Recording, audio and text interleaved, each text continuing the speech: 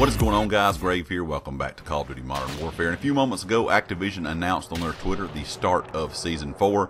It says Season 4 content is live tonight, June the 10th at 11 p.m. Pacific Time.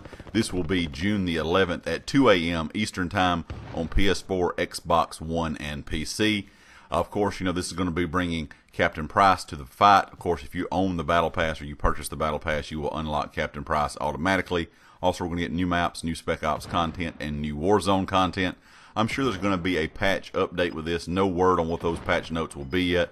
But of course, when that information comes out tomorrow, I will make a video, of course, and have it posted here on the channel. Anyway, guys, I hope you are excited for Season 4. I know a lot of people have been looking forward to this. But like I said, tonight, June the 10th at 11 p.m. Pacific Time, and of course, in the morning or tomorrow morning, 2 a.m. Eastern Time is when Season 4 goes live.